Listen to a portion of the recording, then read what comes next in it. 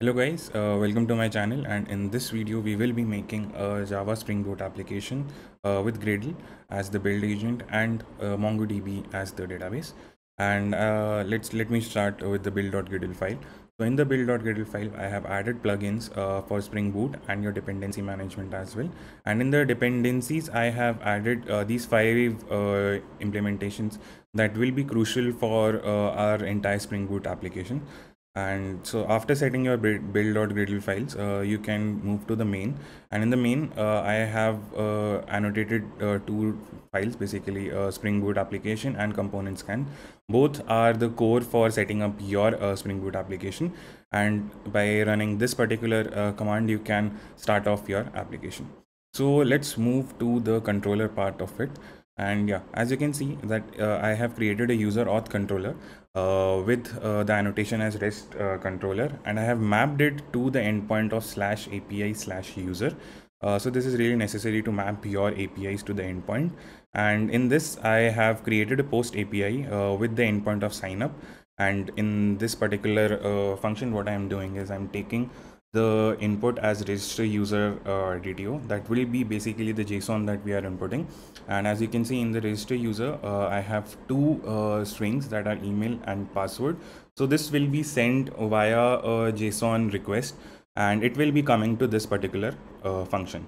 And in this function uh, yeah so here i have auto wired uh, user services. So this is basically an implementation that uh, interface that i have built and this interface will be implemented uh, in the user service implementation so coming back to the user auth so what does user auth basically does is is filter out the email it gets the email it gets the password and it sends to the implementation file so over here, uh, it's pretty simple to see that uh, when once the sign up API is being called, this function will be called and it will be checking the database that I have made over there, the repository.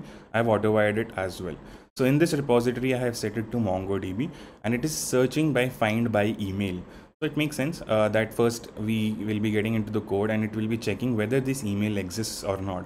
So if the email already exists, so it will be showing uh, user already exists. So because yeah, it, it does make sense. Like you should not let the user to sign up once it has already been signed up and the data already exists.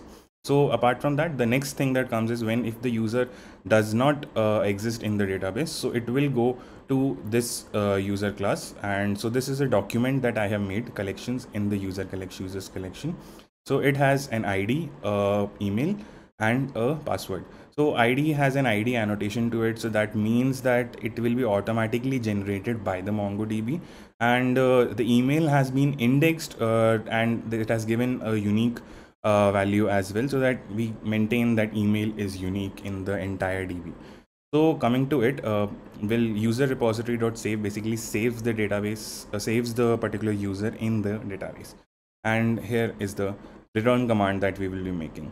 So as you can, you will be uh, like a bit perplexed like why I have returned it in a command format. So basically I wanted a message and is successful to be done. So that's why I have made my custom uh, response file. So it will be returning something like that.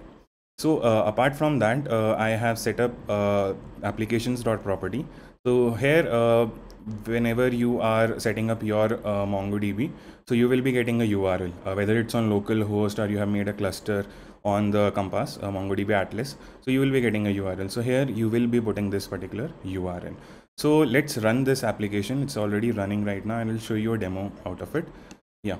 Uh, so right now let's refresh the db so this is the db uh, that will be there and as you can see that it's empty. And yeah. So as i have already run it okay i'll run it again. So yes so it says that users uh, successfully registered and the message is true. So let's check if the data has come in our database. So yeah as you can see that email and password has been set over here. So let's try it one more time as we have written a certain logic to check whether the user exists or not. So yeah now you cannot sign up technically because uh, the user already exists and the success message is false. So yes so this is the basic uh, application that we have built. So it has to be enhanced a bit. So as as you can see that right now if i pass uh, don't even pass an email id uh, and it's just a username for example a name. So then also it will be signing up successfully. So uh, just stay tuned to the next video. We'll be making it a bit more complex and adding a lot of validations to it and making up the next sign in api as well. Thank you and hope you guys enjoyed it. And yeah do subscribe to the channel if you like the video